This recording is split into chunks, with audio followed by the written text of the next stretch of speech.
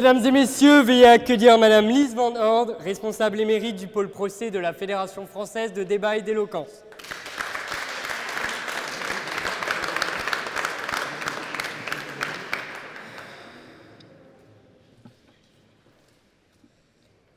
Sur les pavés parisiens, les mots ont coulé autant que le sang.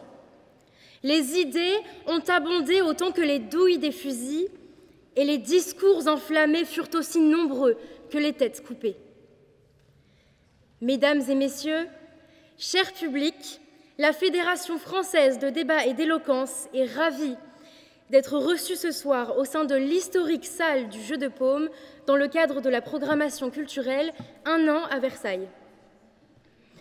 Nous tenions à remercier chaleureusement toute l'équipe du château de Versailles et plus particulièrement Julia Couvez qui nous a offert l'opportunité d'organiser ce bel événement dans ce lieu si riche de sens et d'histoire. Nous sommes ravis de pouvoir faire vivre grâce à vous le procès de la Révolution française.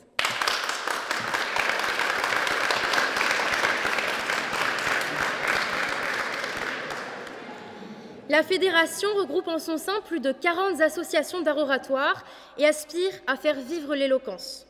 Les procès sont parmi les événements phares de notre fédération. Chaque année, nous organisons deux à trois procès fictifs et tâchons d'être à la hauteur des lieux qui nous font l'honneur de nous accueillir. Après le Panthéon, l'église Saint-Eustache et la salle du Jeu de Paume ce soir, nous serons le 11 juillet prochain à l'Institut de France à l'occasion du procès de l'étranger d'après l'œuvre d'Albert Camus. Mais ce soir, une tâche ardue et passionnante s'offre à nous. Replonger dans les années d'effusion et d'émotion de la Révolution française et marcher dans les pas des révolutionnaires. Pour comprendre pleinement les enjeux de cette révolution, il faut en comprendre le contexte, il faut en saisir l'esprit, le souffle et la virulence. Alors que les concepts de liberté d'expression et de conscience se diffusent dans les salons, ce sont les difficultés du quotidien qui préoccupent en premier lieu la population. La France des années 1780 est une France en faillite et en famine. Pourtant, ce sont la noblesse et le clergé qui entrent d'abord en confrontation avec le pouvoir royal. Ils refusent de renoncer à une part de leurs privilèges fiscaux.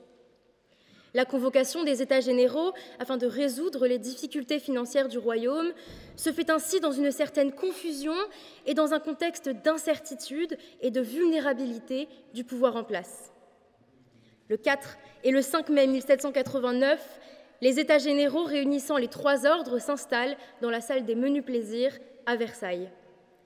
Le 20 juin 1789, les députés constitués en Assemblée nationale se réunissent ici, dans la salle du Jeu de Paume, pour prêter serment, posant ainsi la première pierre de notre démocratie. Mais la Révolution française ne pourrait se comprendre ni se résumer en quelques dates marquantes. Les idéaux révolutionnaires, les revendications populaires et les, réactions du pouvoir royal ont rythmé le quotidien des Français lors de cette décennie décisive de l'histoire de France. La France est fracturée. Le bilan humain s'élève à plusieurs dizaines de milliers de morts. Une instabilité politique s'installe sur le pays. Plusieurs questions s'imposent alors à nous. Des questions auxquelles les orateurs tenteront de proposer une réponse. Jusqu'où la Révolution pouvait-elle aller pour faire triompher ses idéaux? Quelles auraient dû être ses limites? Le prix du sang valait-il celui de la victoire? Si nous sommes réunis aujourd'hui pour faire vivre le procès de la Révolution française, l'objectif n'est pas de réécrire l'histoire, mais plutôt d'en proposer une autre lecture, d'en comprendre les ambiguïtés, les enjeux et les défis. La Fédération a ainsi à cœur de perpétuer les débats historiques et contemporains nécessaires pour mieux comprendre le monde d'aujourd'hui. Ces questions, ces débats, quatre étudiants se concentrent dessus depuis plusieurs semaines. Ils ont travaillé avec sérieux et employé toute leur curiosité historique à rédiger des discours réfléchis, raisonnés et recherchés. Ils s'apprêtent ce soir à vous livrer leur éloquence et leur perspicacité. Deux d'entre eux incarneront des témoins et rentreront dans la peau d'acteurs phares de la Révolution. Puis deux autres tenteront de vous proposer une plaidoirie digne des plus grands avocats. Ainsi, et dans leur ordre de passage, vous découvrirez ce soir Estelle Griette dans le rôle du comte de Mirabeau, suivi de Karl Sawaya dans le rôle de Jean-Sylvain Bailly, puis Guillaume Graff en tant que plaideur de l'accusation, suivi de Noah Saintonge en tant que plaideur de la défense. Nous pouvons les accueillir chaleureusement.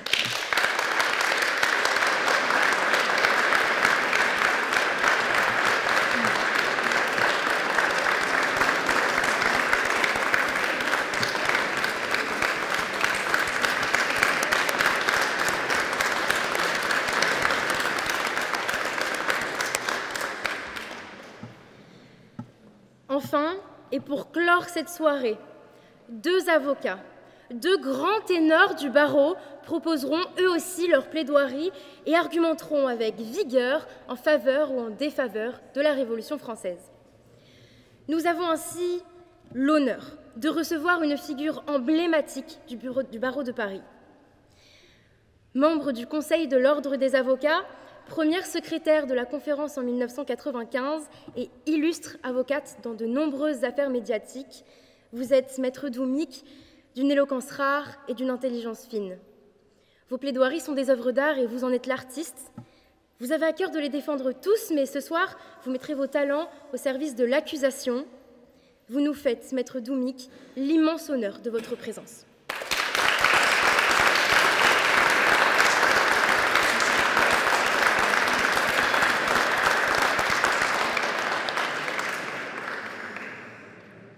Grand ami de notre fédération, le plaideur de la défense n'en est pas non plus à son coup d'essai. Ancien quatrième secrétaire de la conférence, officier de l'Ordre national du mérite, vice-bâtonnier en 2010, vous êtes, maître Le Borgne, la voix et l'éloquence du barreau de Paris. Plus qu'un ténor, vous êtes un chef d'orchestre tant vous savez guider votre auditoire et battre la mesure de vos arguments. Mesdames et messieurs, maître Le Borgne, avocat de la défense.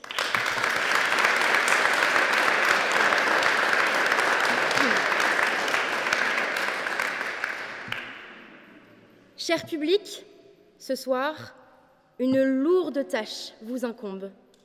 Ce soir, et comme en 1789, vous serez constitué en assemblée.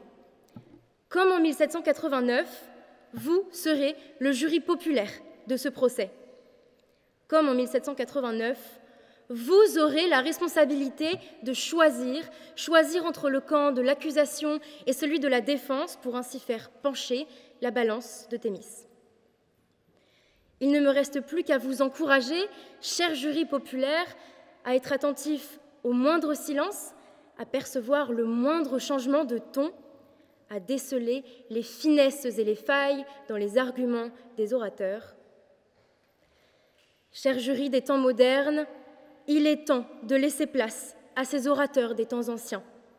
Leur destin vous appartient, leur tête sont entre vos mains.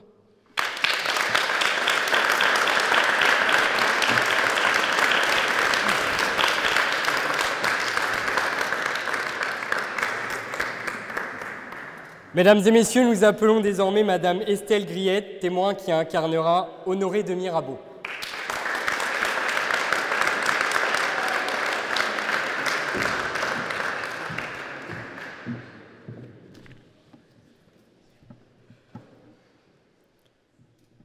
Magistrat, je fais ici un serment, celui de la vérité. Je jure de ne dire que la vérité, toute la vérité et rien que la vérité.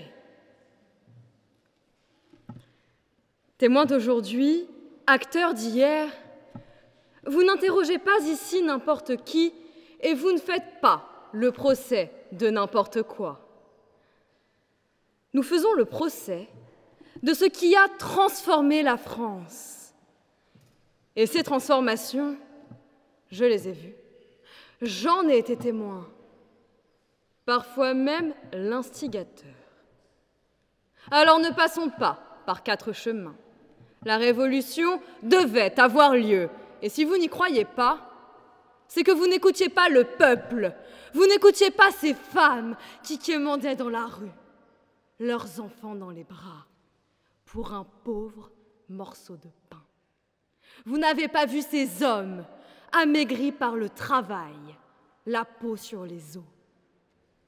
Les enfants, maigres, sales, malades, dont les parents espéreraient qu'ils dépasseraient les 20 ans. Je les ai écoutés. Je me suis investie pour eux, car vous connaissez mes convictions, vous savez pourquoi je me suis battue. J'aime le peuple. J'aime ce qu'il représente. J'aime ce qu'il est. J'aime l'idée que n'importe qui d'entre nous, peu importe notre origine sociale, peu importe notre apparence, peu importe notre capital économique, puissions être à égalité avec quiconque. Voilà quelles furent mes motivations dans cette révolution? Voilà quelles furent nos motivations. La Révolution française est un cas à part des révolutions américaines et anglaises qui l'ont précédée en ce qu'elle a créé, en ce système qu'elle a mis au point, en ce que nous, députés du tiers-État, avons contribué à fonder. Le temps était au changement, il était plus que nécessaire. Trouviez-vous cela normal qu'il y ait des privilèges et des privilégiés? Trouviez-vous cela normal que vous, personne du tiers-État, n'ayez aucune influence? Trouviez-vous cela normal que l'égalité n'existe pas? Il fallait mettre des règles, il fallait que cette France soit coordonnée, non pas par des privilégiés, mais par une constitution. Et c'est en nous constituant en assemblée que nous l'avons constituée. Dans cette même salle du serment du jeu de paume, je me rappelle un soir avoir juré Allez dire à votre maître que nous sommes ici par la volonté du peuple et qu'on ne nous en sortira que par la puissance des baïonnettes. Lorsqu'il voulait nous en sortir. Comprenez la rage qui était en nous ce jour-là. Une rage motrice, une rage que personne n'arrête, une rage d'un peuple révolté. J'ai fait de mon mieux pour les aider. Mais comme je l'ai déjà dit auparavant, le meilleur moyen de faire avorter la révolution, c'est de trop demander. Nous étions face à un peuple enragé qui a la rage aux dents contre une élite au croc aiguisé et très aisée qui ne veut rien changer. Le temps était alors au compromis. Et bien qu'ayant promis au peuple de l'aider, j'ai pris le parti de me compromettre pour que cette révolution ait de réelles évolutions. Au fil de discussions entre d'un côté l'élite et de l'autre le peuple, nous avons vite compris que la seule solution résidait dans une monarchie constitutionnelle. L'idée était simple, amener les choses petit à petit. Un changement de société ne peut pas se faire radicalement du jour au lendemain le pouvoir du roi devait être limité par la Constitution. Il s'agissait d'une sorte d'entre-deux, sans doute pas entièrement ce que le tiers-État voulait, sans doute pas entièrement ce que l'élite voulait, mais il s'agissait sans aucun doute d'un pas en avant, le premier d'une longue marche. Et nous voilà, dix ans après cette longue marche, pour faire un point honnête sur l'honnêteté, pour faire un point honnête sur la révolution. Un procès demande de l'honnêteté, magistrat, vous êtes les premiers à le demander, une honnêteté qui nous réunirait tous. Enfin, comment pouvez-vous prendre le parti d'une défense ou d'une accusation qui a un regard biaisé sur les événements? Prenez la mesure qu'il ne s'agit pas du procès de quelqu'un qui aurait tué. En quel cas, c'est la loi et le droit qu'il faut écouter. Il s'agit là du procès d'un événement qui a causé pertes et bénéfices. La Révolution a accordé plus de droits avec la Déclaration des droits de l'homme et du citoyen, mais elle a laissé de côté les femmes et les handicapés. La Révolution a permis l'expression du peuple, mais aussi la mort de nombre d'entre eux pour s'être exprimés. La Révolution a vu la fin de la monarchie absolue, qui s'est suivie de la terreur. Mesdames, Messieurs, vous ne pouvez vous en tenir qu'à une accusation ou une défense, car comme vous le savez, chaque rose possède son épine. Belle à regarder, mais gare à celui qui s'en approche trop, au risque d'en voir les défauts. Aujourd'hui, osez vous faire piquer. La Révolution nous a tous marqués au fer rouge. J'ai été marqué, vous avez été marqués, nous avons tous été meurtris. Certains, ici, ont connu comme moi la peur, l'angoisse, les pleurs, la rage, la haine, mais aussi la compassion et l'espoir.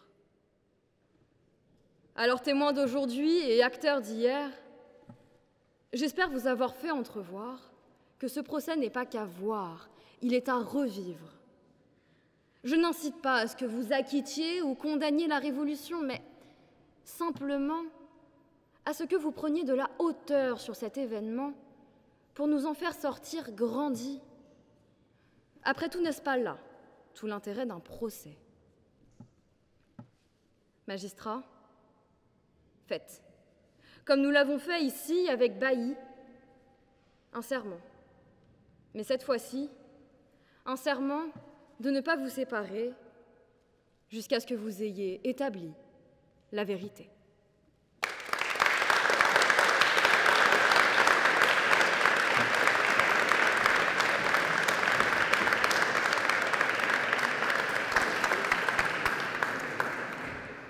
Mesdames et messieurs, nous accueillons désormais Monsieur Karl Sawaya qui incarnera Jean-Sylvain Bailly.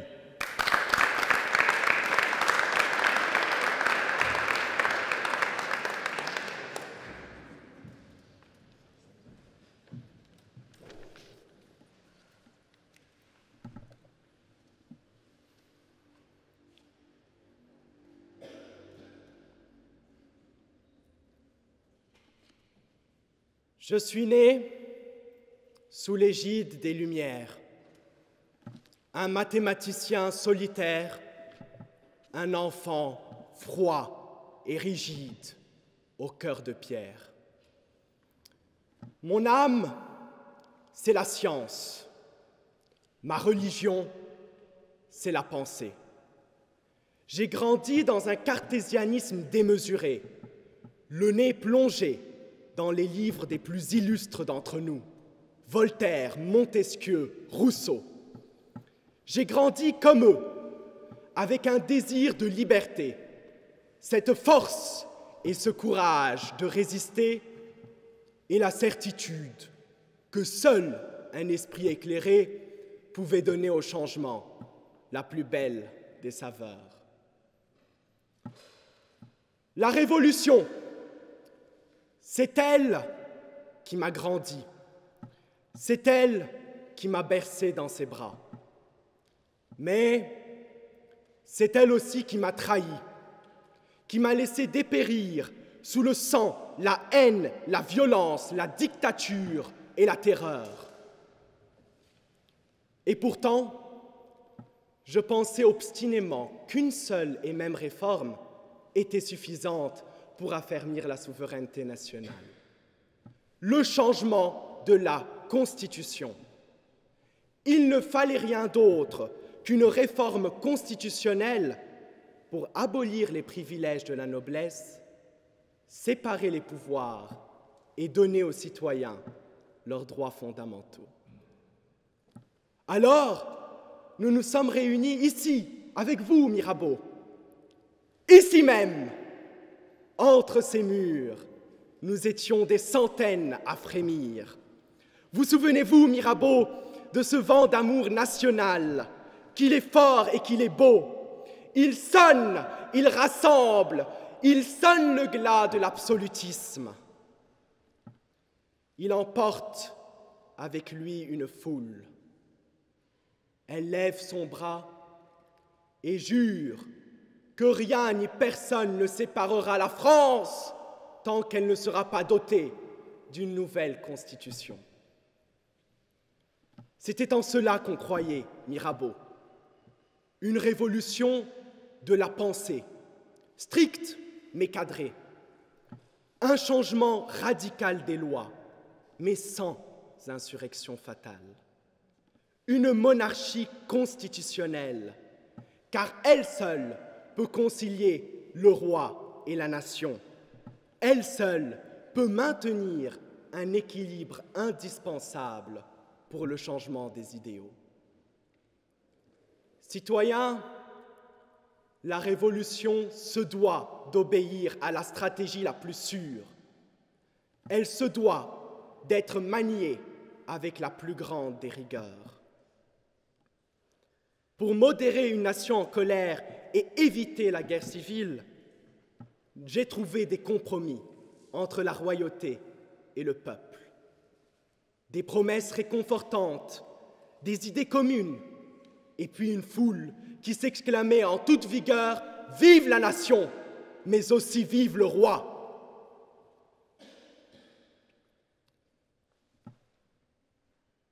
Et puis l'histoire a changé de camp. L'agitation républicaine se fait entendre. Louis XVI tente de fuir Paris pour rejoindre les royalistes. Des révolutionnaires enragés se rassemblent petit à petit au champ de Mars pour demander la déchéance du roi. Ils s'entremêlent dans une sorte de haine qui déchaîne les passions et déclenche des forces insurrectionnelles violentes et incommensurables. Moi, je devais agir. Je devais contenir cette foule pour conserver l'équilibre de la nation. Une fusillade m'a crié Lafayette. C'est ainsi qu'ils comprendront. Ne cède pas à la peur, bailli. Ne fléchis pas, bailli.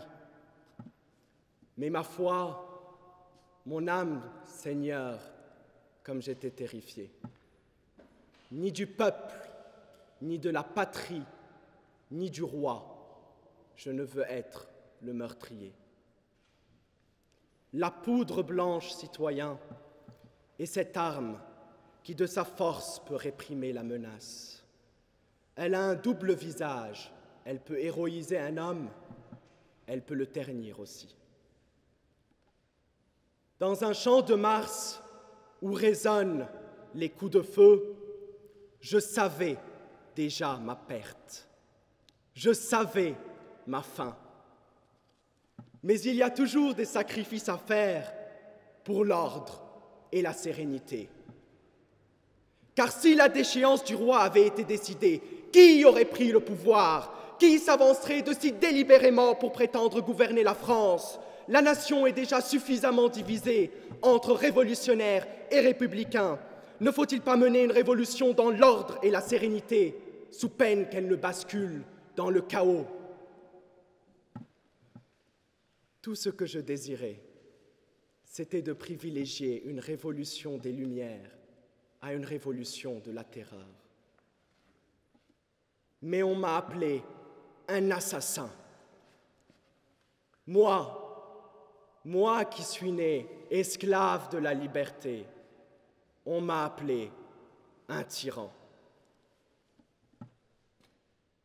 Citoyen, je suis né pour combattre le crime et non pour le gouverner. Je refuse d'être le Judas de la Révolution. Moi, je suis simplement l'homme de la mauvaise époque. Je sens lentement la fin arriver. Je sais qu'il y en a qui guettent la lame de fer sur ma nuque. Et puis au loin, sur une place à l'allure austère et sombre, un révolutionnaire enragé d'un sourire dérisoire me crie Alors, tu trembles, bailli Oui, mais uniquement de froid.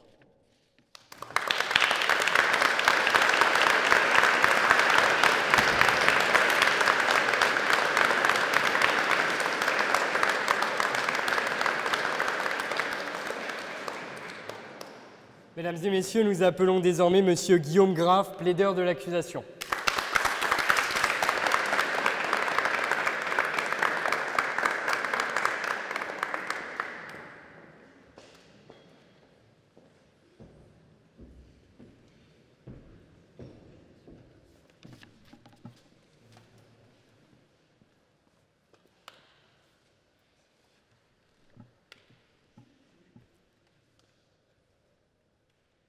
Il est allongé, ferme les yeux et sourit. La révolution est finie. Après un combat éreintant, la France est étincelante. Le peuple est libre d'échanger, de publier et d'exprimer ses idées politiques. Ils l'ont fait. Et est venu le temps de vivre en accord avec les principes pour lesquels ils se sont battus. Puis, il entend un cri, des cris, un capharnaüm infâme et ouvre les yeux. La foule n'est pas apaisée. Elle a soif de sang, de son sang. Le pic est déjà prêt pour y empaler sa tête. Il comprend alors que cette révolution n'était qu'un piètre mensonge. Lui, dont le seul crime est de s'être battu pour ses idées, pour leurs idées, finit par payer le prix de sa lutte et sent le souffle révolutionnaire lui caresser la nuque et lui faire perdre la tête.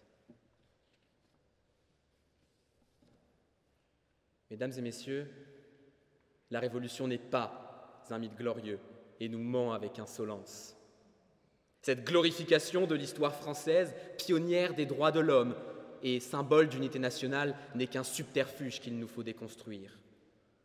Elle est coupable, coupable d'avoir été instrumentalisée par quelques-uns et d'avoir laissé le peuple à sa condition dans la misère et la violence. Alors aujourd'hui, laissons de côté le roman national, dépassionnons les foules et parlons de ce qu'a véritablement été cette Révolution française.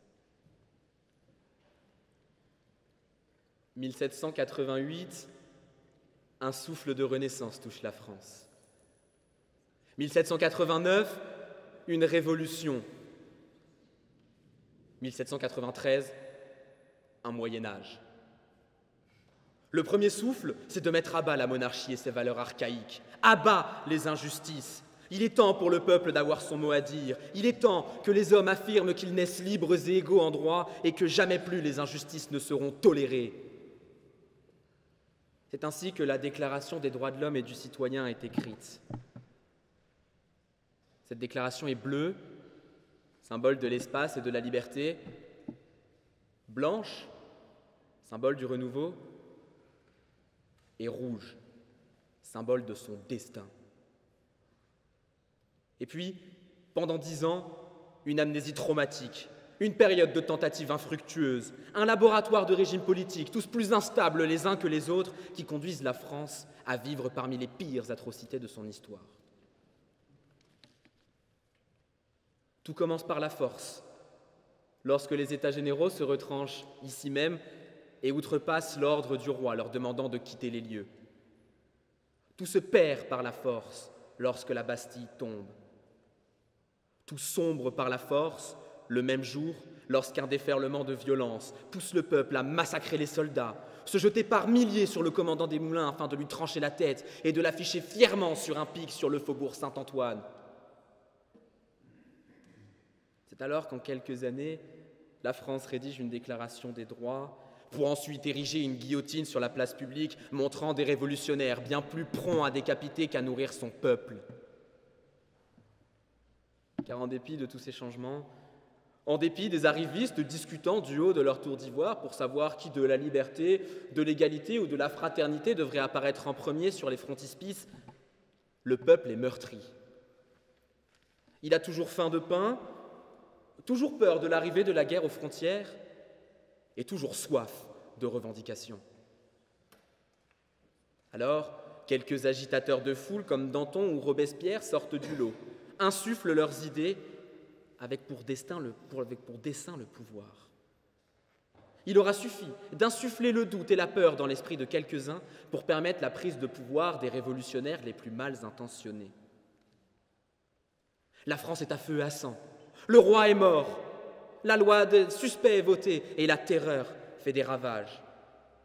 Les villes et les noms de rues sont rebaptisés pour ne plus faire écho à la tradition française. Et pendant que rebaptiser Lyon en commune affranchie est une priorité nationale, la guerre est toujours aux frontières,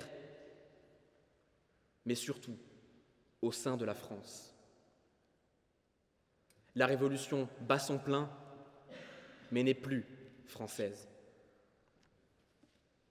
Mais là encore, parce que l'expérience n'est pas finie et que le peuple n'a pas encore souffert, la terreur laissera place au directoire. La guerre est toujours là, le peuple a toujours faim, mais le pouvoir importe encore plus. Les élections finiront par être en faveur des royalistes, mais les révolutionnaires, soucieux de la voix du peuple, les feront annuler.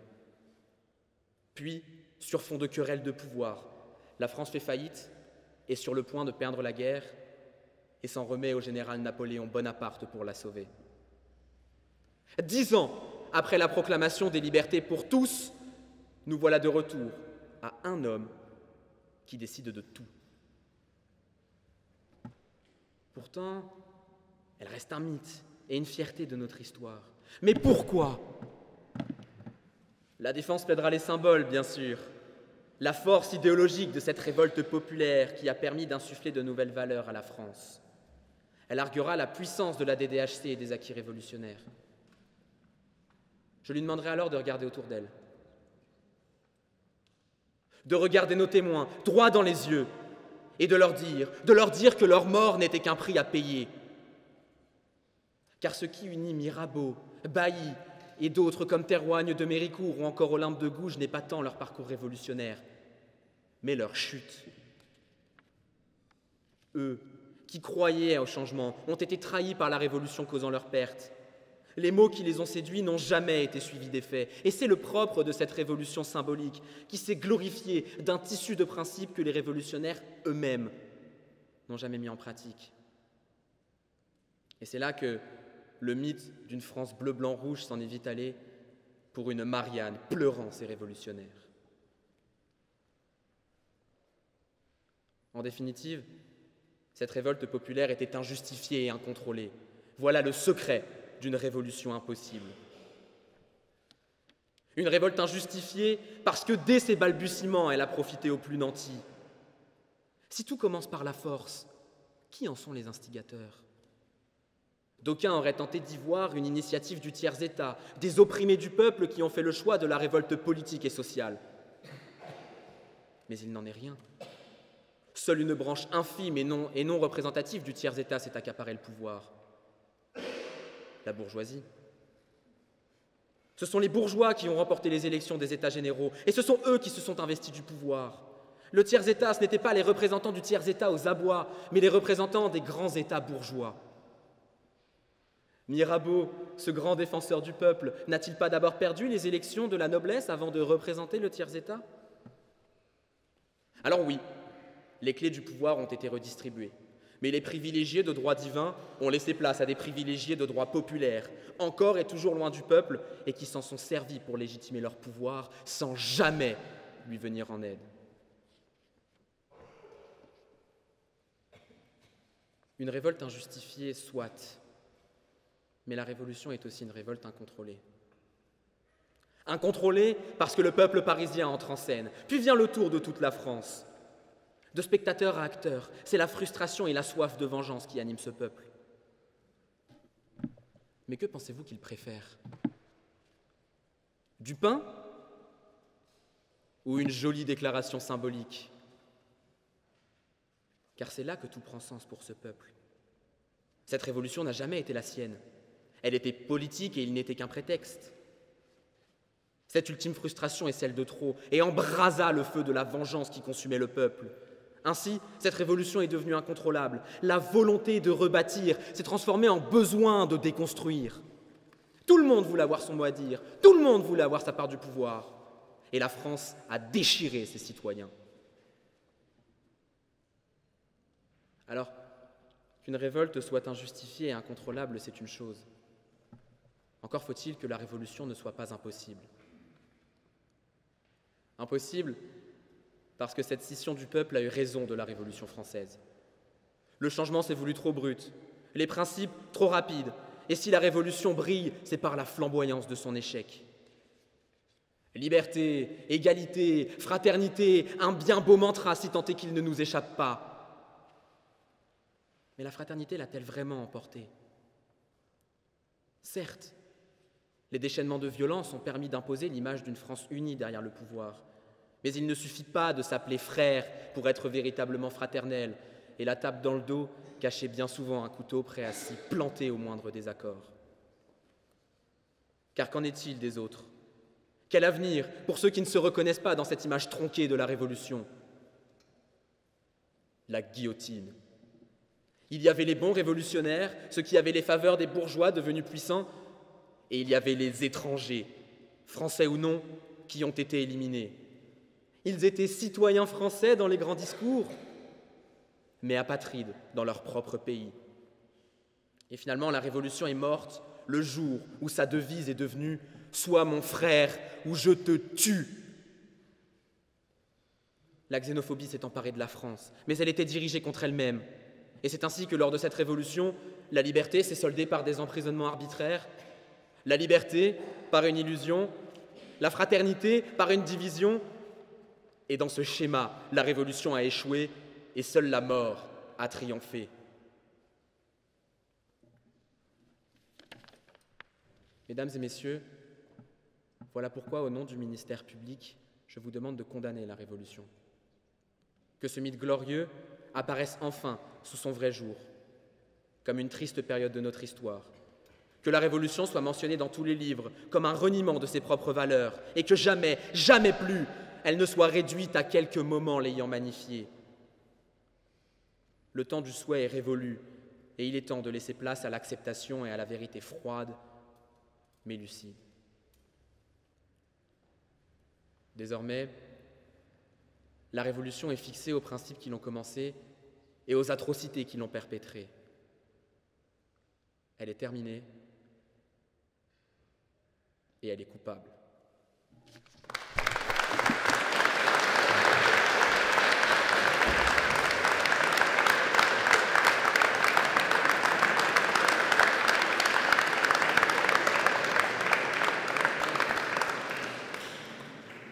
Mesdames et messieurs, veuillez accueillir désormais Monsieur Noah Saint-Onge, plaideur de la défense.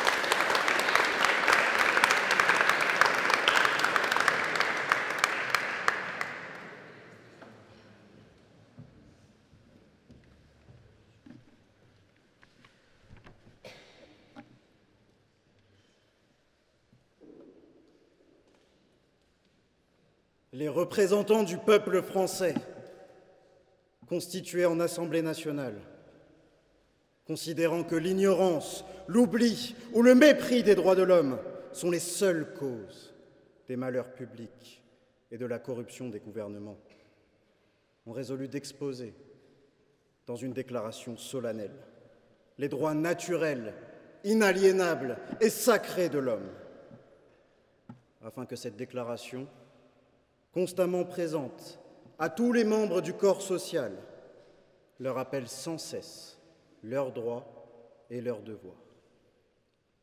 Voilà la promesse de cette révolution. Une promesse qui transcende les frontières pour parler à tout le genre humain. Nous sommes libres et égaux parce que nous sommes. Dans ce nouveau siècle d'oppression, de répression et d'injustice royale, dans ce siècle où l'Ancien Régime montre toute l'ampleur de ses limites, la folie guerrière de Louis XVI plonge la France de 1788 dans l'enfer de la dette financière. Après avoir saigné ses sujets jusqu'au dernier denier pour envoyer Lafayette aux Amériques, c'est dans une France marquée par la famine et la colère que Louis XVI convoque les États généraux le 5 mai 1789. Et alors que le peuple attend des réponses, non pour vivre, mais pour survivre, Louis XVI annonce au tiers État exsangue que celui-ci devra continuer à payer, marquant ainsi son mépris pour les intérêts de son propre peuple. Alors, face à la conduite royale, le peuple est acculé.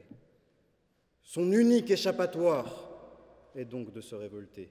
Et citoyens, il vous faut bien entendre ce que cette révolution représentera à jamais pour le peuple français. C'est son ultime espoir de prendre son destin en main.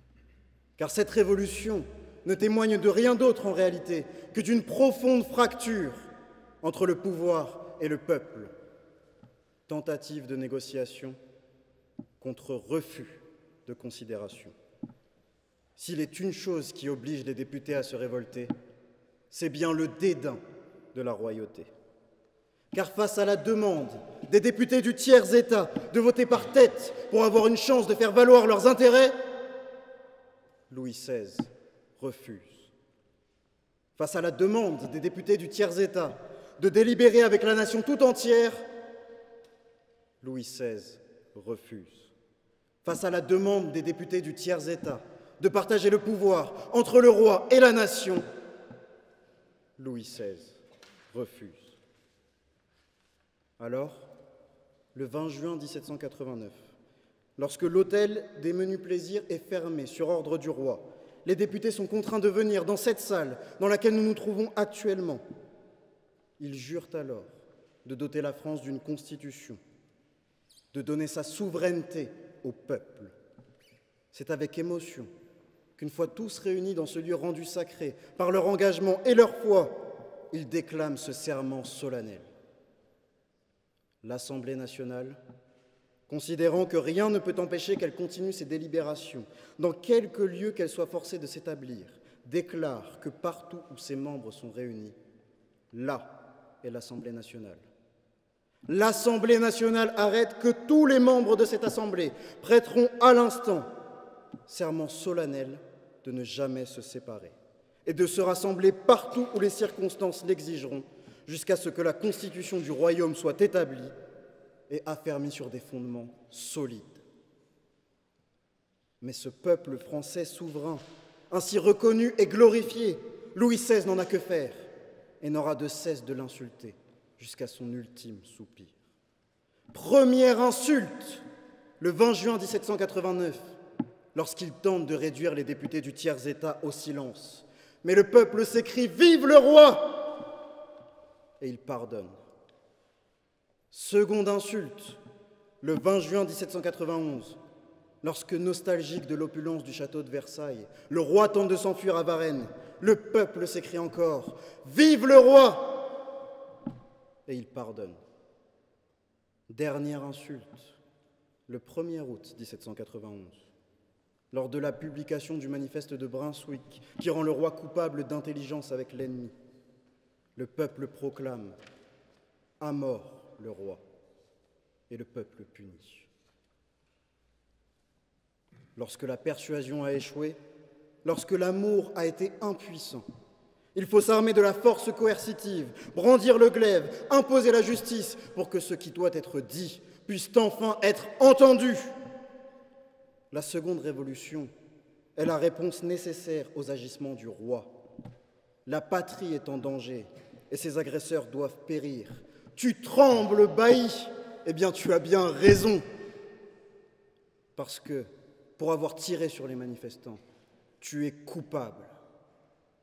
Alors, quand le 21 janvier 1793, la guillotine tombe, avec elle tombent les derniers vestiges d'un système qui est déjà mort.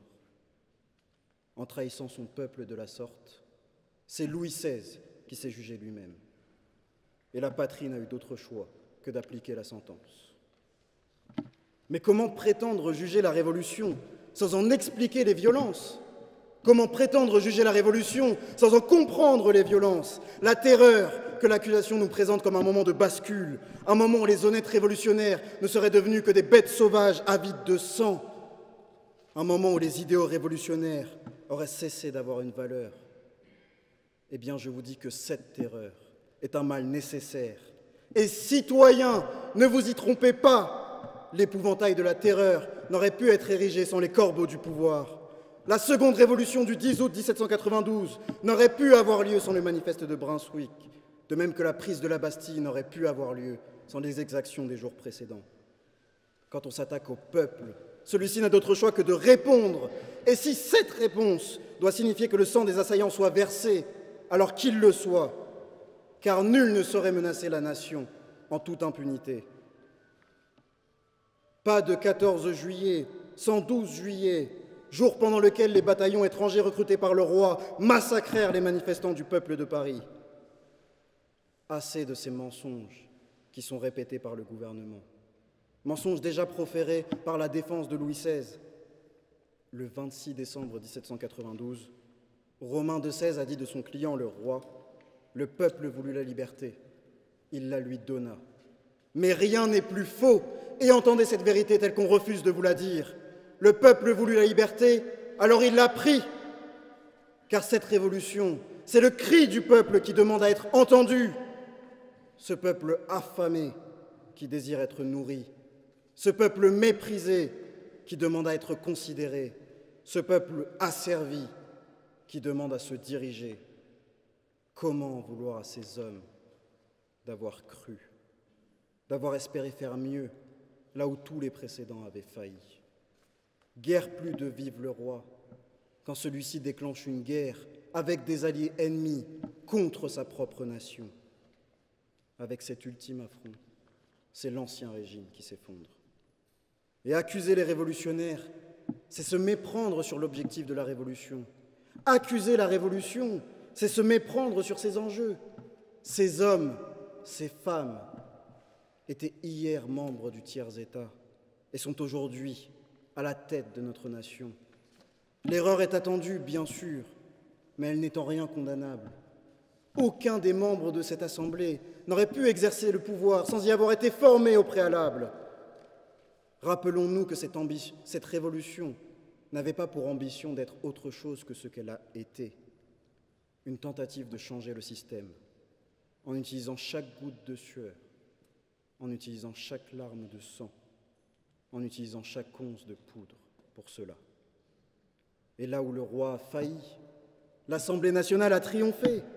Elle a triomphé le 4 août 1789 en abolissant les privilèges des nobles pour que le mérite triomphe sur la naissance.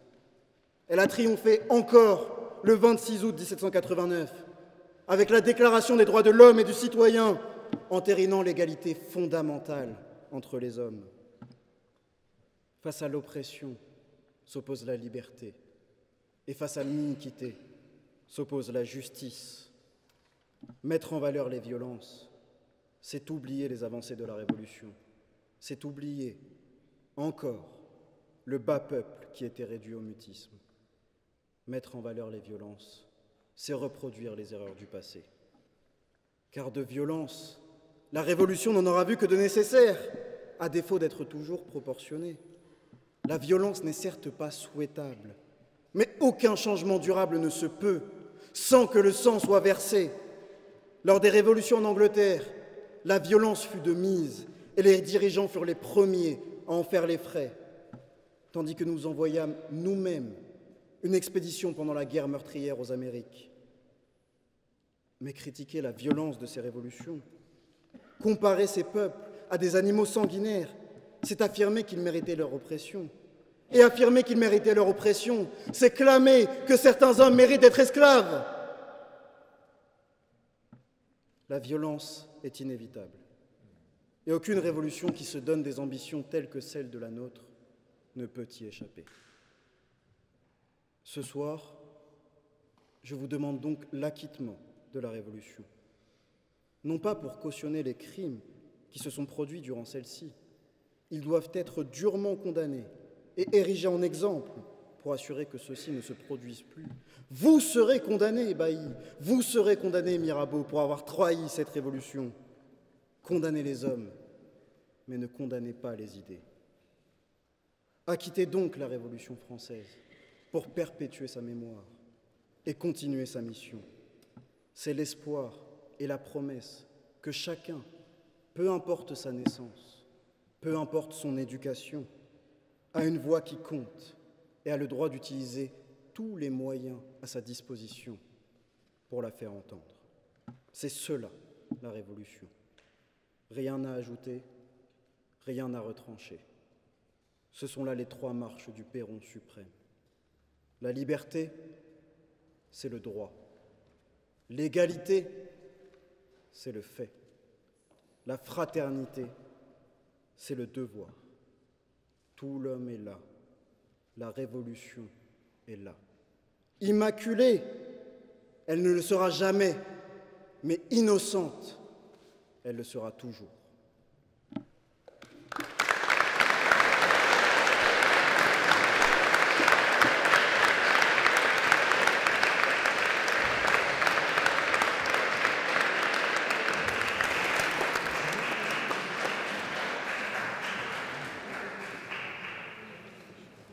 Mesdames et messieurs, veuillez accueillir désormais Maître Solange Doumic, avocate de l'accusation.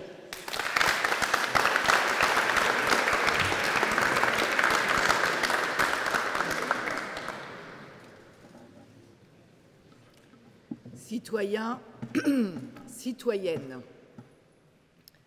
5 mai 1789, cela fait plus de 170 ans que les États généraux n'ont pas été réunis et c'est Louis XVI qui les réunit. Il prononce le discours d'ouverture. Puisse, messieurs, un heureux accord régner dans cette Assemblée et cette époque devenir à jamais mémorable pour le bonheur et la prospérité du royaume. Pauvre roi. Louis XVI n'a plus d'argent en caisse.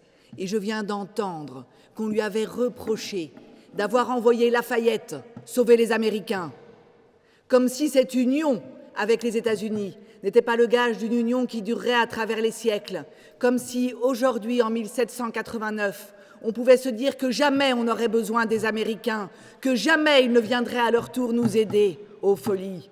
Merci Louis XVI il ouvre les États généraux. Les députés s'autoproclament Assemblée nationale. Et là, effectivement, le roi tente de s'opposer à cette Assemblée et fait fermer la salle des menus plaisirs où elle se réunissait. Mais merci Louis XVI. Car s'il n'avait pas fait fermer la salle des menus plaisirs, nous aurions à jamais écrit dans les livres d'histoire le serment des menus plaisirs et une seule seconde, vous, vous regrettez cette fermeture? Non, il la ferme, il a raison. Ça a autrement de la classe quand même, le serment du jeu de paume. Et la bonne foi du roi. Cette bonne foi, cette bonté, cette difficulté qu'il a à savoir communiquer l'amour qu'il éprouve pour son peuple. C'est tellement injuste parfois le regard que l'on porte sur nos dirigeants. Le peuple a désiré la destruction d'un impôt qui était celui qui faisait que tous ceux qui, étaient membres du tiers-État devaient travailler gratuitement pour l'État. Il le supprime, il le remplace par un impôt foncier, un impôt qui pèse sur tous, un impôt qui pèse sur les nobles. Le lit-on beaucoup dans les livres d'histoire Le lira-t-on beaucoup le peuple ne veut plus d'esclavage. il supprime l'esclavage qui sera rétabli peut-être plus tard, on ne sait pas. Le peuple demande que les peines criminelles soient plus douces. On n'écartèle plus. Et on ne dit pas merci Louis XVI. Alors, la France dans laquelle nous sommes au début de cette révolution est bien sûr une France qui est un bateau dans la tempête, un bateau qui risque de prendre l'eau. Mais, comme disait Créon, il faut pourtant qu'il y en ait qui disent oui. Il faut pourtant qu'il y en ait qui mènent la barque. Cela prend l'eau de toutes parts, c'est plein de crimes, de bêtises, de misère. Et le gouvernail est là, qui ballotte. Et nous pouvons dire aujourd'hui, merci Louis XVI d'avoir tenu la barre. Le 11 juillet 1789, mal conseillé, le roi congédie Necker, son ministre des Finances. Immédiatement, des émeutes, parce que le peuple a peur. Le peuple a peur de ne pas être entendu. Et comme il est facile de jouer sur la peur, on peut imaginer, on peut jouer sur toutes les peurs. La peur des épidémies, la peur de l'autre, la peur d'un régime totalitaire. On joue sur la peur et on garde le pouvoir ou on prend le pouvoir. Et là, on joue sur la peur. 11 juillet 1789, cela donne le 14 juillet 1789 la prise de la Bastille et les deux pauvres prisonniers qui y sont, qui seront plus tard guillotinés. 16 juillet 1789, il n'a pas fallu cinq jours. Le roi dit à Necker de revenir parce que nous sommes en face d'un roi qui écoute. Mais la révolution, c'est une sorte de boule de neige qui devient une avalanche. Une fois qu'elle est lancée, on ne peut pas l'arrêter. On va vous dire, on vous a déjà dit qu'il fallait, qu'il fallait la quitter, qu'il fallait la gracier, qu'il fallait en voir que le bien, qu'on pouvait condamner quelques actes à côté, mais qu'en elle-même, elle était porteuse. Mais c'est faux, nous le savons bien. La révolution, une fois lancée, ne s'arrête pas. Cette grande peur s'étend dans les, campagnes. Et le roi, en face de ça, le roi sort-il les baïonnettes Pas une fois. Le roi demande-t-il qu'on tire sur le peuple? Pas une fois. Le roi aurait été plus fort, le roi aurait été plus dur, le roi aurait moins aimé son peuple, il n'y aurait pas eu la révolution. Alors non, on ne peut pas la défendre aujourd'hui. Et quand on voit Mirabeau, Mirabeau l'orateur du peuple, qui parle d'écouter le peuple, mais qui écoute-t-il ce noble débauché, escroc, député du tiers-État parce qu'il n'a pas réussi à être autre chose? C'est comme si je voyais sa mort en 1791, son arrivée au Panthéon portée par la Révolution, et trois ans plus tard exactement, hop, sorti du Panthéon, on se rend compte de qui il est. Non, Mirabeau. Mirabeau, c'est comme Marat, l'ami du peuple, ami de rien du tout, oui, ami de lui-même, ami de la terreur. Heureusement, il a été assassiné avant cette dernière. Merci Charlotte Corday. Mais enfin, malgré tout, il a inspiré cette terreur. Toutes les basses passions, la politique simpliste sont exaltées par lui. Alors, c'est ça la révolution. La révolution, ce n'est pas le fait de ceux qui ont faim, ceux qui ont faim auront encore plus faim avec la révolution. Et imaginons une seule seconde, dans une sorte de fiction, que la révolution puisse, au bout d'un certain temps de chaos, appeler quelqu'un qui prenne le pouvoir de manière forte, et que cet homme qui prendrait le pouvoir, avec son talent et son charisme, se dise que puisqu'il a pris le pouvoir en France, il pourrait ne pas s'arrêter. Imaginons une seconde qu'il ait envie de s'étendre qu'il ait envie d'aller, tiens, plus loin que l'Ukraine, vers la Russie. Et que cet homme engage tous nos hommes, tous nos frères, nos fils, nos pères, et que cela se fasse tuer et meure. Imaginons. C'est ça, une révolution. La révolution n'est pas provoquée par les paysans qui ont faim. Elle est provoquée par les abus d'un règne où les privilèges appartiennent à une classe qui ne croit plus à rien, même pas à ses privilèges, ou plutôt qui s'y agrippe par automatisme, sans pensée, sans passion, sans acharnement, car elle a un faible ostensible pour les idées de ceux qui vont l'anéantir. La Révolution fait un peu penser à ce scorpion qui va voir la mangouste pour traverser une grosse rivière et qui lui dit Mangouste, s'il te plaît, prends-moi sur ton dos. Ah ben non, scorpion, si je te prends sur mon dos, tu vas me piquer. Mais non, j'ai besoin d'aller de l'autre côté du fleuve. Mais enfin, scorpion, si je te porte, tu vas me piquer et je vais me noyer. Mais réfléchis, mangouste. Si je me mets sur ton dos, j'ai besoin de toi. Je ne vais pas te piquer. Ah, c'est vrai, dit la mangouste, parce qu'elle est bonne, la mangouste, elle est comme le peuple. Alors la mangouste prend sur son dos le petit scorpion révolution, et elle commence à nager vers l'autre côté du fleuve. Et que se passe-t-il au milieu? Le scorpion la pique. La mangouste lui dit Mais enfin, scorpion, dans quelques secondes je vais mourir, mais toi aussi, qu'as-tu fait? Pourquoi as-tu fait ça? Je suis désolé, dit le scorpion, je suis la révolution.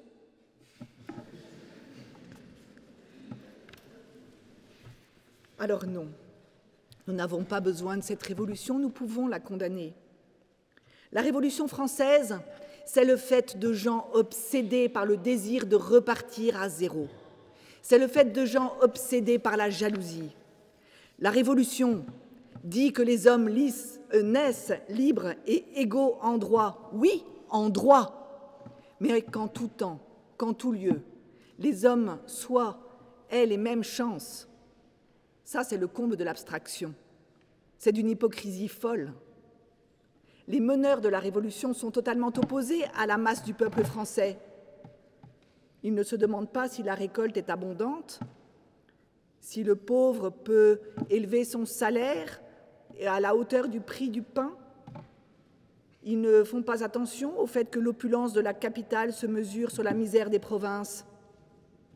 Ils ignorent qu'en éloignant les propriétaires de leurs domaines et en transformant les agriculteurs en tenanciers, les provinces seront aussitôt ruinées et avec elles la capitale, et qu'on mourra de faim. La liberté doit être attachée à des institutions traditionnelles qui défendent chacun contre l'État. Les révolutionnaires veulent tout supprimer, surtout ces institutions traditionnelles. Et ces mêmes institutions qui étaient les remparts contre les abus possibles de la prérogative royale, avec la Révolution disparaissent.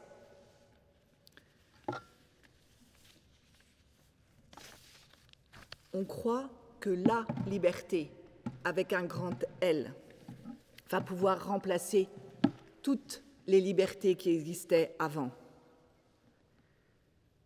La France de l'Ancien Régime est tout entière remplie de libertés, de franchises, de privilèges attachés à certains corps, aux villes, aux universités, aux corporations. La France de l'Ancien Régime ne connaît pas les 35 heures, mais connaît les jours de fête, sans cesse qui reviennent et qui reviennent encore. Et il faudra attendre combien de temps après les avoir supprimés? Dans quelle période noire allons-nous rentrer pour des dizaines d'années si nous supprimons tous ces remparts? Nous avons, par le décret d'Allard et la loi Le Chapelier, interdit toute association professionnelle, toute association de patrons, mais toute association d'employés, de, salariés. Combien de temps faudra-t-il pour que nous retrouvions le droit de nous syndiquer? La Révolution française en elle-même est porteuse de mort, d'horreur. La Vendée, tous ces massacres vendéens, ce sont contre qui? Contre des riches, contre des nobles? Non, ce sont des paysans, des artisans, des pauvres qui se lèvent, simplement parce qu'ils veulent rester libres. Et les prêtres non-jureurs que l'on assassine, ce sont, des, riches, ce sont des puissants Non, ce sont simplement des prêtres qui veulent rester libres de ne pas faire ce que le pouvoir leur dit. Imaginez, à force de supprimer ces libertés, où nous irons? On vous demande de juger la Révolution juste à temps pour qu'elle s'arrête. Si elle continue, un jour peut-être, nous aurons des femmes qui s'enfermeront elles-mêmes dans des voiles et, qui et qui laisseront passer uniquement leur regard, et on nous dira c'est la liberté. Laissons la liberté, la vraie. La Révolution, c'est l'horreur. On vous a parlé du roi Louis XVI en disant qu'il avait trahi. Il n'a jamais voulu faire tirer sur la foule. La révolution, c'est la suppression de la justice. On pourra juger une reine, une femme, en faisant témoigner contre elle un petit garçon qui est son fils, au motif qu'il est né roi et qu'il ne l'est plus. On va lui demander de dire les pires horreurs sur sa mère. On va lui demander de dire les pires mensonges.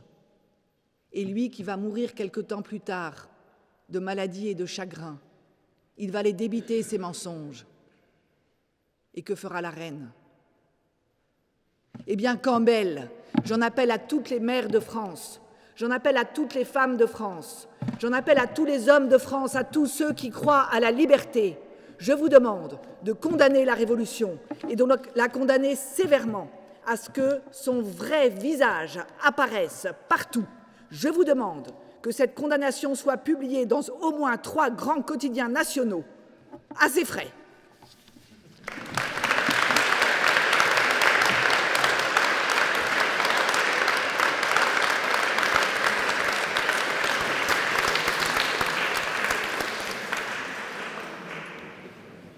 Mesdames et messieurs, nous appelons désormais Maître Jean-Yves Leborgne, avocat de la défense.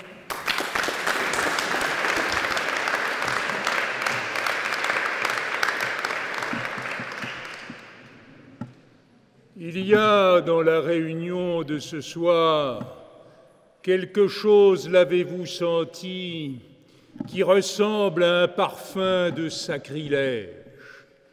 Nous nous donnons tout à coup le droit de juger, que ce soit pour la louer ou pour la condamner, une période de notre histoire qui n'a rien à voir avec nous, dans laquelle nous n'avons pris aucune part. Et je frémis un peu en regardant ces visages de pierre qui nous regardent et qui considèrent que cette solennité est une manière d'injure que l'on a fait à leur vie. Je ne sais pas s'il faut ou non acquitter la révolution.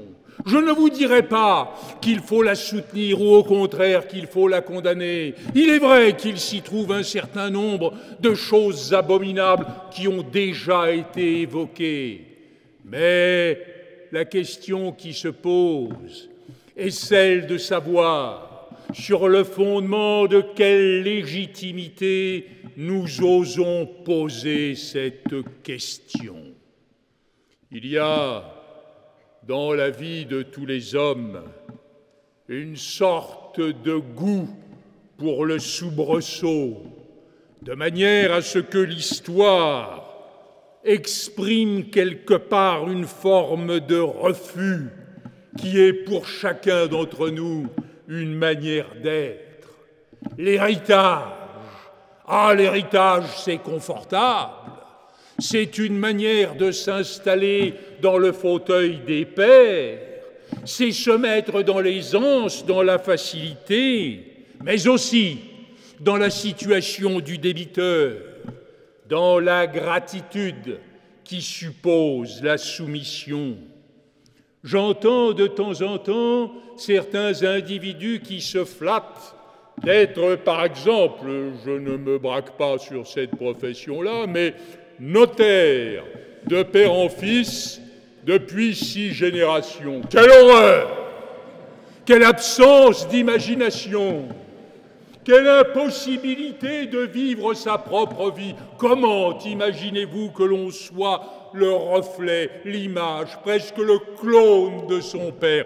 Et si on ne veut pas l'être, si on veut quitter ce conformisme, il faut une manière de capacité d'injure, il faut une façon d'être capable de sacrilège. Alors, nous le faisons ce soir. Tant pis, messieurs, si vous nous regardez avec je ne sais quoi de réprobation au fond du regard de Pierre. Mais il y a une douce permanence de ce qui est déjà connu. Il paraît que ça se dit dans les vieux couples. Mais il y a aussi le frisson du bouleversement. qui donne un sens à la vie. Héraclite n'a pas eu un grand succès dans l'Antiquité, lui qui nous disait qu'on ne se baigne jamais deux fois dans le même fleuve. Il expliquait le monde comme une sorte de vision kaléidoscopique où il était impossible, les choses allaient tellement vite que l'on distingue, que l'on identifie, que l'on clairement connaisse quelque chose. Mais ce mouvement-là, qui fait que le fleuve n'est plus tout à fait le même, que je ne mets pas mes pieds dans les chaussons de mon père encore tièdes, cette façon de vivre un nouveau monde, ça, ça s'appelle parfois une révolution. Il y a, regardez autour de vous, Regardez un certain nombre de manifestations qui sont sans rapport avec la grande révolution d'hier. Regardez ces gilets jaunes au rond-point qui ne demandent rien, qui ne savent pas ce qu'ils veulent, qui veulent casser pour être, parce qu'ils ont le sentiment qu'à force d'accepter une situation secondaire, une manière d'être les laissés pour compte d'un monde qui ne s'intéresse pas à eux. Leur vie va s'écouler comme un ruban d'eau inutile et que le désespoir va bientôt les garder. C'était ça, la Révolution française. À la fin du XVIIIe siècle, on vous l'a dit, la France a faim, les caisses sont vides, et le roi, qui n'est pas un mauvais roi, vous avez peut-être eu tort de vous inscrire dans ce manichéisme un peu sévère. Le roi ne sait plus quoi faire. Il appelle Necker, il le renvoie, il convoque les États généraux, qui sont le conseil du roi, qui tout à coup, ces États généraux vont se constituer très vite, en quelques jours, en Assemblée nationale. Ce n'est pas neutre. Ce n'est pas quelque chose qui soit au fond une situation banale. Comment? Ces hommes que l'on a réunis pour leur demander un conseil s'emparent du pouvoir tout à coup, considèrent qu'ils sont à la nation, ne sont plus les conseillers du roi, ils prennent sa place. Lorsque l'on est une assemblée nationale, on commande. Vous l'avez entendu, c'est Mélenchon qui l'a dit pendant plusieurs semaines de telle sorte qu'en fait, il y a là une réelle substitution du pouvoir. Le pouvoir royal est contesté depuis un certain temps, non qu'il soit nécessairement mauvais, mais parce que monte du fond des choses une contestation qu'on ne peut pas arrêter. L'Église elle-même, qui est en quelque sorte la compagne de marche de l'Ancien Régime, l'Église elle-même connaît une scission, une rupture. Les prêtres près du peuple sont pauvres et partagent sa misère, tandis que les prélats, comme un certain nombre de nobles, vivent dans un certain luxe qui apparaît comme une forme d'injure aux autres. Oh, ne soyons pas manichéens, je le disais il y a un instant, la noblesse ne vit pas dans le luxe le plus absolu. Il y en a deux des noblesses. Il y a la noblesse que Louis XIV, après la fronde, a encarcérée à Versailles, la noblesse de cour, cette noblesse de grands seigneurs dont on a fait des courtisans, c'est-à-dire des esclaves, et puis il y a les autres, les petits, les sans-grades, ceux qui essaient d'aider leurs paysans et qui partagent leur misère en faisant le seul travail qu'ils peuvent faire, c'est-à-dire en s'occupant de la terre. Et puis, il y a depuis longtemps ces idées qui montent, que l'on ne voit pas venir, que l'on n'a pas même d'ailleurs conscience de mesurer vraiment cette idée du christianisme selon laquelle les hommes sont tous fils de Dieu. Comment il y a une fraternité absolue, une égalité au regard de Dieu. Tous sont faits à son image et il y en a certains qui sont plus aimés que d'autres. Dieu serait-il injuste? Qu'est-ce que c'est que cette histoire que l'on ne peut pas supporter? Et puis vont s'installer les nouvelles thèses que le peuple ne connaît pas de Luther et de Calvin, qui vont d'abord contester le pouvoir du pape. Oh, contester le pouvoir du pape, ce n'est pas nécessairement cela qui va révolutionner le monde, détrompez-vous. Le pape est d'abord un roi et quand le roi qui incarne ce qu'il y a de plus sacré, lui, il n'est pas seulement de droit divin, il est la bouche de Dieu, il est le successeur de Saint Pierre. Et si on s'attaque à l'autorité du pape, c'est qu'il n'y a plus de monarque légitime. Les droits de l'individu vont avec cette considération.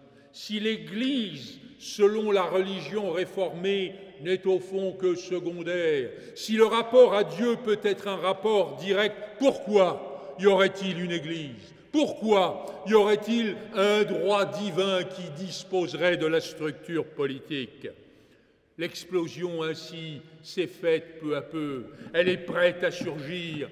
Le duc de la Rochefoucauld a bien raison de dire à Louis XVI, non sire, ce n'est pas une révolte, c'est une révolution. C'est l'ensemble qui va être contesté. Je ne dirais pas, car ça c'est une manière de s'installer depuis le futur, c'est-à-dire depuis maintenant, qu'il y a un esprit de justice. La notion de justice est une idée du 19e ou du 20e, voire du 21e siècle. À l'époque, elle n'existe pas. Il y a une volonté de bouleversement. Il y a un roi cultivé, Louis XVI, beaucoup plus que ses prédécesseurs, appliqué, Louis XVI, beaucoup plus que ses prédécesseurs, presque libéral, Louis XVI, allant, bien sûr, avec l'arrière-pensée de gêner un peu l'Angleterre, mais allant au soutien de la guerre d'Amérique, qui est quand même une guerre qui porte les concepts qui vont être ceux de la Révolution française. Il y a cette situation qui très vite va dégénérer. Le serment du jeu de paume en ces lieux est une formule extraordinaire les députés réunis de tous les ordres, on a déjà parlé de cette réunion des ordres, qui en soi était une manière de dire que l'ancien régime n'existait plus, les députés des ordres se stiment appelés à fixer la constitution du royaume. Je ne sais plus quel orateur disait tout à l'heure qu'il fallait changer de constitution. Non, il n'y en avait pas de constitution. La monarchie, pendant des siècles, a vécu sur le droit divin. Le choix de Dieu était la seule constitution. Il ne s'agissait pas, vous avez trop entendu Mélenchon, d'une sixième république qui à l'époque eût été la première. C'était tout autre chose. C'était une manière de dire qu'on allait en finir avec le passé, qu'on allait créer son présent, qu'on allait organiser son monde, qu'on allait faire en sorte qu'on ne soit plus suivi, dans le suivi des choses, dans la soumission, dans la tête basse, mais qu'on allait construire euh, par le peuple ce qui s'est passé. Cette simple journée du serment du jeu de paume a tout dit. Alors, bien sûr, il y a eu la suite. La suite avec euh, toutes ces nuances étranges. Je l'ai dit, le roi probablement eût été un bon roi. Je ne sais plus qui parlait de monarchie constitutionnelle, mais on ne savait pas ce que c'était que la monarchie constitutionnelle, qu'à Toussaint que lettré avait peut-être été voir ce qu'il était advenu de Charles Ier d'Angleterre et de la suite de cette révolution qui n'avait pas grand-chose à voir avec celle qui allait se lever, mais au fond, il s'agissait tout simplement qu'une nouvelle nation s'organise en fonction de la disparition des ordres. Et la disparition des ordres, c'était la disparition de la hiérarchie. Et la disparition de la hiérarchie, c'était la disparition de la loi qu'on connaissait depuis des siècles. L'étranger menaçait aux frontières. Les princes émigrés menaçaient le pays et désignaient leur roi qui ne leur demandait pas comme étant un des leurs. Bientôt ce fut Varennes. Louis XVI est apparu comme un traître qui rejoignait précisément les immigrés. Puis le 10 août 1792, le moment où le peuple attaque le Louvre et où les gardes suisses sont massacrés. Imaginez un peu le roi va se réfugier à l'Assemblée. Quel choix Je n'ose imaginer si l'Élysée demain était attaqué par le peuple et que les nouveaux gardes suisses, CRS, fussent alors massacrés.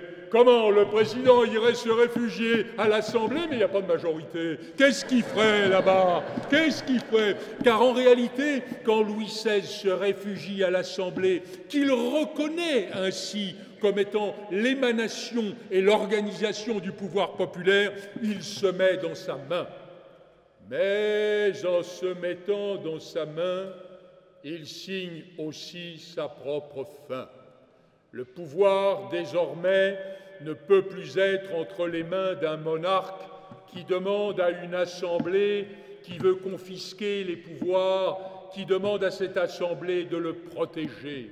Vous savez, nous connaissons tous les vieilles lunes de Montesquieu sur l'équilibre des pouvoirs. Il n'y a pas il n'y a jamais eu d'équilibre des pouvoirs. Il y a une guerre, il y a une lutte des pouvoirs. On le voit d'ailleurs, c'est encore le, phénomène d'aujourd'hui. L'Assemblée veut prendre le pouvoir. Elle l'a eu pendant des décennies, sous la Troisième, sous la Quatrième République.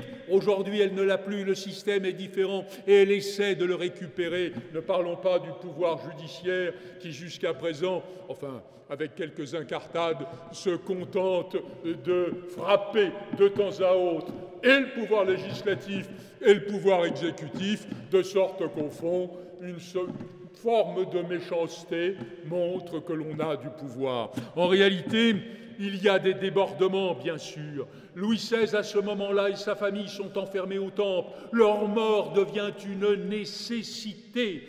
Il faut écarter de l'existence un pouvoir officiel, un pouvoir constitutionnel, un pouvoir qui fut de droit divin, mais qui s'oppose frontalement au pouvoir de l'Assemblée. Alors monte le ton, montent aussi les folies et les hommes inspirés comme Robespierre qui se prend pour le peuple. Un auteur récent a euh, baptisé l'arrivée de, de Robespierre au pouvoir d'une manière que je trouve extraordinaire. Moi, le peuple, disait-il. Et au fond, c'était ça, Robespierre.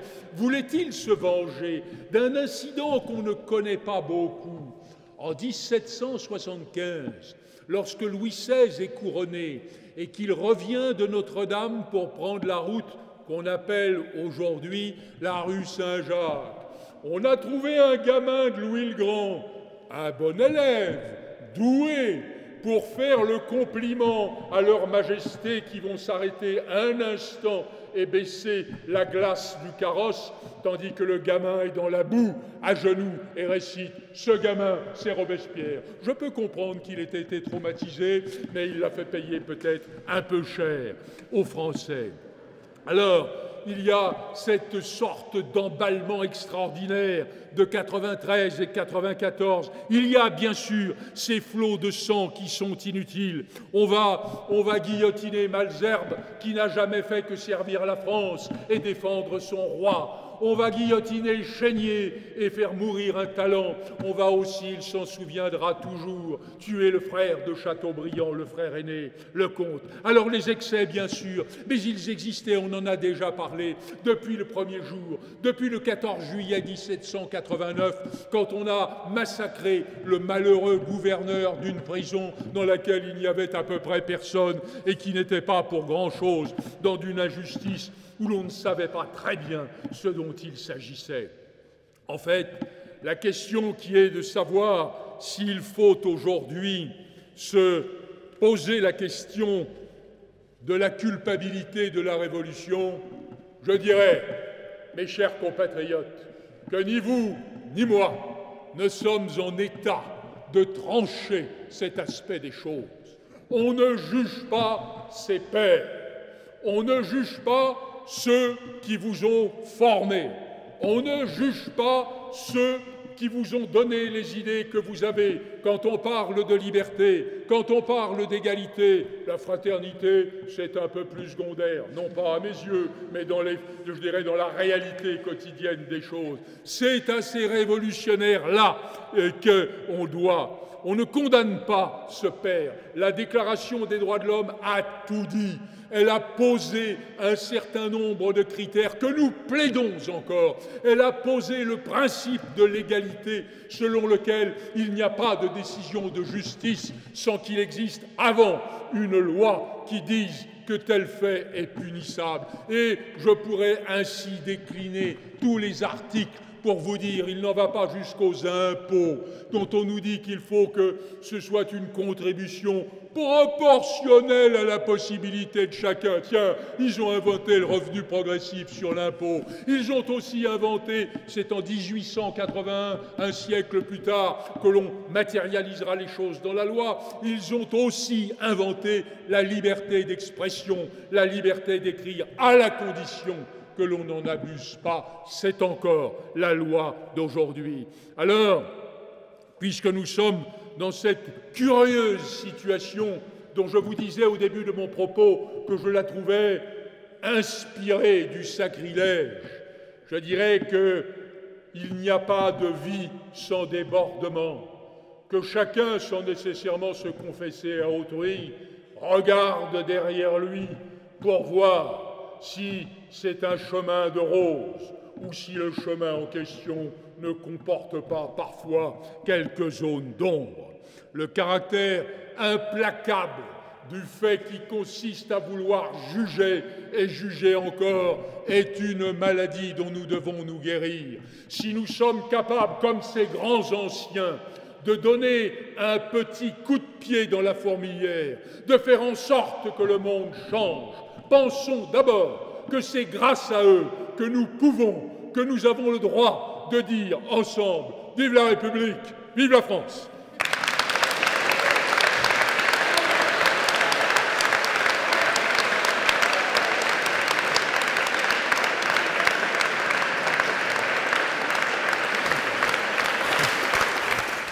L'histoire a repris ses droits le temps de quelques mots, le temps de quelques prestations. Mais comme chaque chose ne dure qu'un temps, il est désormais lieu de rendre à l'histoire ce, qui lui appartient et de rendre à ces visages de pierre le repos qu'ils méritent bien. Il me revient la tâche de clôturer cet instant en dehors du temps. Mais il y a de ces moments qui ne s'oublient pas, de ces moments qui ont forgé les esprits, forgé les nations, et qui à la fin nous donnent l'opportunité de s'inspirer. Il y a de ces histoires qui nous permettent de mieux comprendre et de ces souvenirs qui nous permettent de ne pas oublier. Il est évident, évident que nous n'oublierons pas l'histoire qui s'est écrite en ces lieux, histoire écrite avant, bien avant que nous n'y prenions place. Mais j'espère surtout que vous, mesdames et messieurs, garderez gravé ce moment dans vos esprits. Parce que l'issue de ce procès n'est en réalité qu'un prétexte.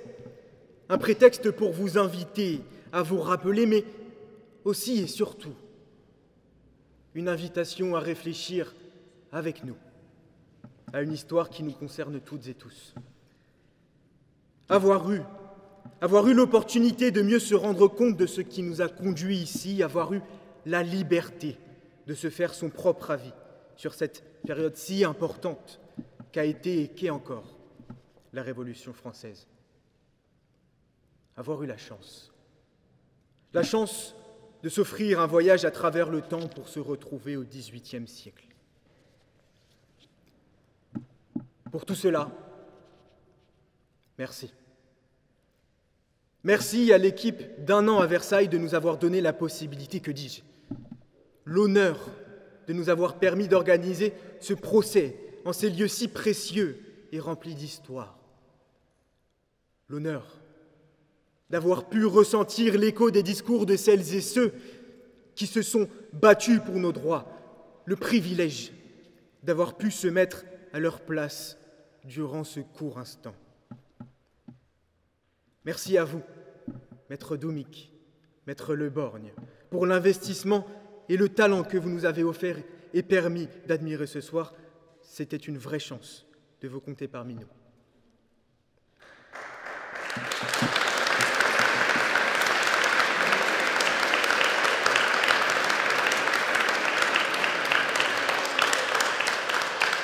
Merci, merci évidemment aux orateurs d'avoir donné de leur temps et de leur énergie pour que ce procès soit une réussite. Merci.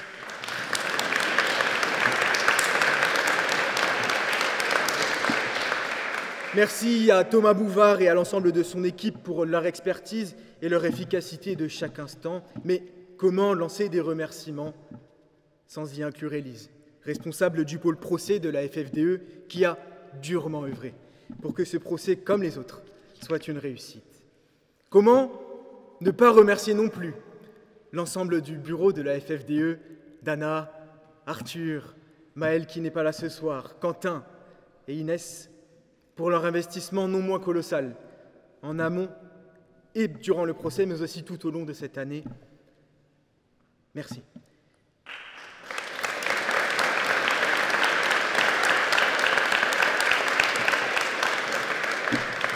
Je parler tout à l'heure de ce travail essentiel de mémoire. Sachez, chers amis, que je n'oublierai jamais ce que nous avons construit ensemble, que ce soit pour la Fédération ou en dehors. Car si les expériences forgent l'esprit, vous avez fait du mien une véritable armure.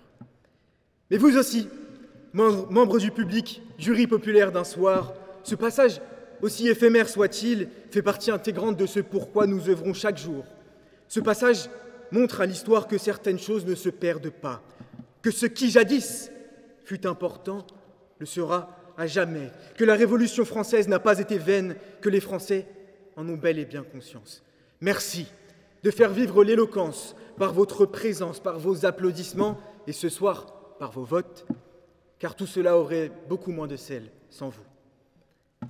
Rappelons, rappelons-nous que si nous avons le temps d'une soirée, tenter de rejouer l'histoire, elle restera à jamais écrite dans le marbre.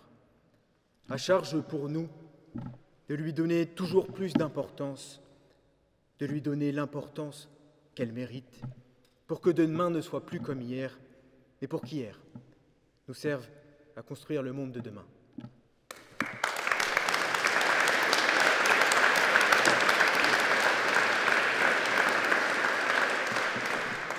Et puisque vote il y a eu, mesdames et messieurs, il est désormais temps de donner les résultats. Je commencerai donc par le meilleur témoin ou la meilleure témoin, et vous avez décidé que le meilleur témoin était Karl incarnant Bailly.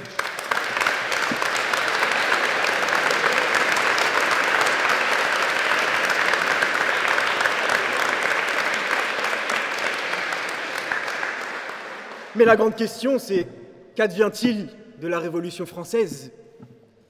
Vous avez une nouvelle fois choisi. C'était rude, c'était serré, mais ce soir, la Révolution française est acquittée.